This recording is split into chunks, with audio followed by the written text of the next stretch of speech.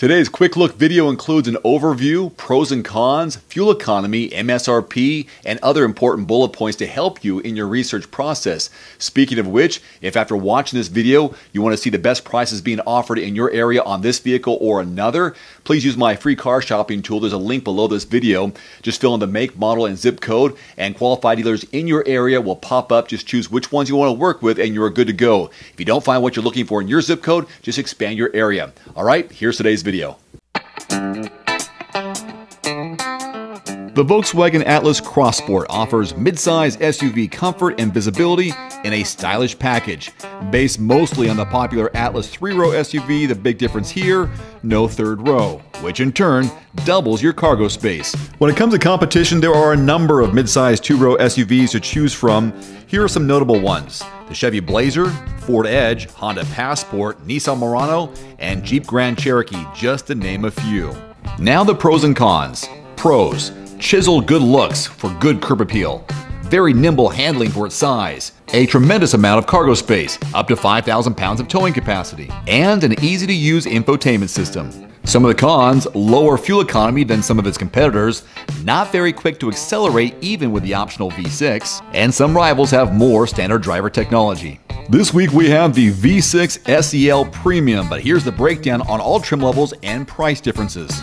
The entry-level S trim starts around 31 grand and comes with key exterior features like an engine start-stop system, a four-wheel independent suspension, 18-inch wheels, LED headlights, fog lights, LED brake lights, rain-sensing wipers, and heated side mirrors. Inside the S trim level, you'd find cloth upholstery, a six-way manual driver's seat, a 60-40 split fold flat second row cruise control, front USB and 12 volt ports, 6.5 inch touchscreen, six speakers, Bluetooth, and a lot more. Safety technology includes forward collision warning with pedestrian monitoring, automatic emergency braking, blind spot monitoring, and rear cross traffic alert.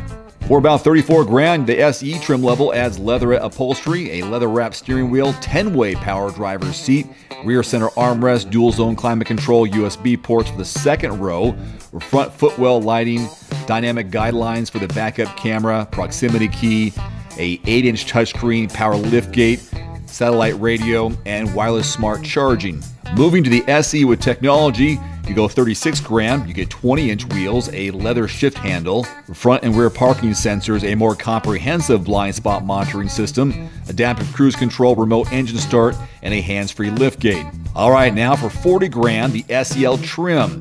Features self leveling and curve adaptive headlights, memory settings for the mirrors, a panoramic moonroof, heated steering wheel, driver seat memory, a digital gauge cluster, roadside detection, lane keep assist, traffic jam assist, automatic high beams, navigation, and heated washer nozzles. Now, if you're down for the top of the line SEL Premium, 46,500. It adds machined 20 inch wheels, power folding mirrors, puddle lights, chrome exterior accents, heated ventilated front seats, heated rear seats, second row manual sunshades, ambient lighting, a top view camera, and parking assist. On the following trim levels, you can add the R Line Appearance Package, SE with Technology, SEL, SEL Premium trims. This basically gives you a sleeker look with unique wheels, bumpers, and side sills, along with body color cladding. Now, all trim levels come standard with a turbocharged four cylinder and an 8 speed automatic transmission with Tiptronic manual shifting. A V6 is available on all but the two lowest trim levels.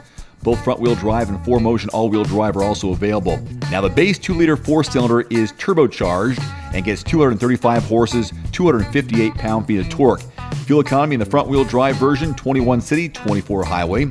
The 3.6 liter V6 gets 276 horsepower, 266 pound feet of torque. With all wheel drive, it gets 16 miles per gallon in the city, 22 on the highway.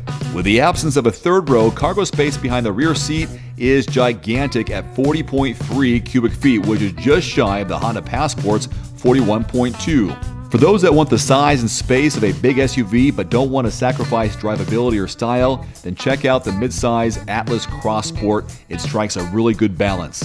While it doesn't offer the best fuel economy in its class, both engines provide plenty of power, and the optional 4Motion all wheel drive gives that extra peace of mind no matter what the driving conditions. This is a good pick for those who want excellent forward visibility and plenty of space for five or fewer passengers. Thanks for watching. Please click subscribe and give us a thumbs up. See you next time.